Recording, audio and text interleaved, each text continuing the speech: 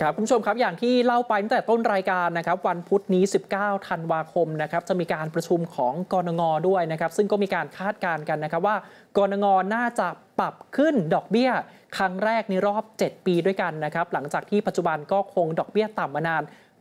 1.5%ไปถามมุมมองจากนายแบงก์ต่างๆ เองก็เห็นไปในทิศทางที่ค่อนข้างจะสอดคล้องกันนะครับ มองว่ากรงงน่าจะปรับขึ้นอัตราดอกเบี้ยอีก 0.25%จาก 1.5%ขยับขึ้นมาเป็น 1.75%ครับ โดยผู้ช่วยกรรมการผู้จัดการใหญ่ ผู้บริหารสายงานวิจัย ธนาคารกรุงศรีอยุธยา คุณสมประวินมันประเสริฐนะครับ บอกว่ากรงงน่าจะปรับขึ้นอัตราดอกเบี้ยนโยบาย 0.25%จากปัจจุบันที่ 1.5%เป็น 1.75%ด้วยคะแนนเสียง 4 ต่อ 3 เสียงครับเนื่องจากเงื่อนไขทางเศรษฐกิจในตอนนี้ก็ถือว่าเอื้อให้ดอกเบี้ยนั้นปรับขึ้นสู่ระดับสมบูรณ์ได้ โดยที่ผ่านมานะครับกรงงยังส่งสัญญาณทั้งเชิงปริมาณ และก็เชิงคุณภาพ ถึงความจำเป็นในการปรับขึ้นอัตราดอกเบี้ยนโยบายมาอย่างต่อเนื่องก็เชื่อนะครับว่าการขึ้นดอกเบี้ยครั้งนี้ จะไม่มีผลต่อการขยายตัวของเศรษฐกิจ แต่จะช่วยดูแลเรื่องของเสถียรภาพของเศรษฐกิจในระยะยาวครับ ส่วนอีกหนึ่งท่านนะครับเป็นมุมมองจากคุณนริศสถาผลเดชา หัวหน้าเจ้าหน้าที่บริหาร ศูนย์วิเคราะห์เศรษฐกิจ ธนาคารทหารไทยนะครับก็มองเหมือนกันเลยนะครับ บอกว่ากรงงน่าจะขึ้นดอกเบี้ย มติเนี่ย4ต่อ 3 เสียง ขึ้นดอกเบี้ย 0.25%เนื่องจากต้องการเพิ่มขีดความสามารถในการดำเนินนโยบายการเงิน และก็ลดพฤติกรรมการแสวงหาผลตอบแทนที่สูงขึ้นนะครับแต่ก็มองว่าปีหน้าหากมองกันต่อไปนะครับ ปี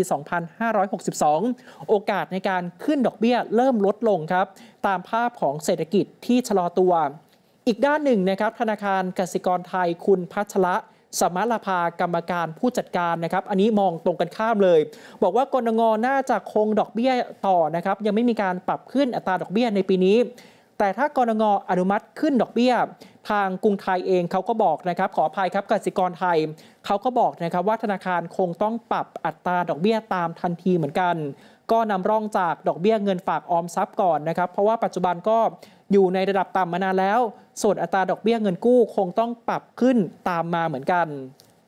ส่วนในฝั่งของแบงก์กรุงเทพนะครับ คุณเดชาตุลานันประธานกรรมการบริหารนะครับ บอกว่าถ้ากรงงขึ้นดอกเบี้ยทางธนาคารเองนะครับอาจไม่ได้เป็นผู้นำในการปรับขึ้นอัตราดอกเบี้ยก่อนแบงก์อื่น ๆ เพราะว่าการขึ้นดอกเบี้ยทั้งเงินฝากเงินกู้ ก็ต้องดูความจำเป็นนะครับ ดูความเหมาะสม ควบคู่ไปกับทิศทางของตลาด หรืออาจต้องไปหารือร่วมกันก่อนนะครับกับทางสมาคมธนาคารไทย ว่าการขึ้นดอกเบี้ยนั้นเหมาะสมหรือไม่นะครับ เพราะต้องยอมรับนะครับว่าตอนนี้เนี่ย ก็ถือว่าสถานการณ์ไม่ค่อยปกติ การขึ้นดอกเบี้ยต่างๆ ต้องพิจารณากันมากขึ้นครับ อันนี้ในฝั่งของนายแบงค์ส่วนไปดูภาคธุรกิจกันบ้างนนะครับ ในฝั่งของอสังหาริมทรัพย์แน่นอนถ้าดอกเบี้ยนโยบายขึ้น จะส่งผลกระทบนะครับต่อดอกเบี้ยอื่นๆ ตามมาดอกเบี้ยเงินกู้เงินฝาก ก็จะส่งผลให้ต้นทุนการซื้อบ้านเพิ่มสูงขึ้นด้วย ในฝั่งของผู้บริหารนะครับของบริษัทพฤกษา Real Estate นะครับคุณปิยะประยงครับยอมรับเลยนะว่า คาดว่าอัตราดอกเบี้ยนโยบายน่าจะปรับขึ้นตามทิศทางดอกเบี้ยโลกอย่างแน่นอน ซึ่งผลกระทบที่จะเกิดขึ้นกับบริษัทอาจไม่มากนะครับ เพราะว่าต้นทุนการเงินตลอดจนหนี้สินต่อทุนนั้นอยู่ในระดับค่อนข้างต่ำแต่ในส่วนของผู้ซื้อที่อยู่อาศัยอันนี้ได้รับผลกระทบโดยตรงครับไม่ว่าดอกเบี้ยจะขึ้นเพียง 0.25%ก็ตามนะครับ โดยเขามีการคาดการณ์กันนะครับว่าลูกค้าที่จะได้รับผลกระทบมากที่สุด ก็จะเป็นกลุ่มตลาดล่าง ที่มีราคา 1-3 ล้านบาทต่อยูนิตนะครับซึ่งกลุ่มนี้เองถือว่าเป็นกลุ่มที่ค่อนข้างใหญ่ มีสัดส่วนประมาณสัก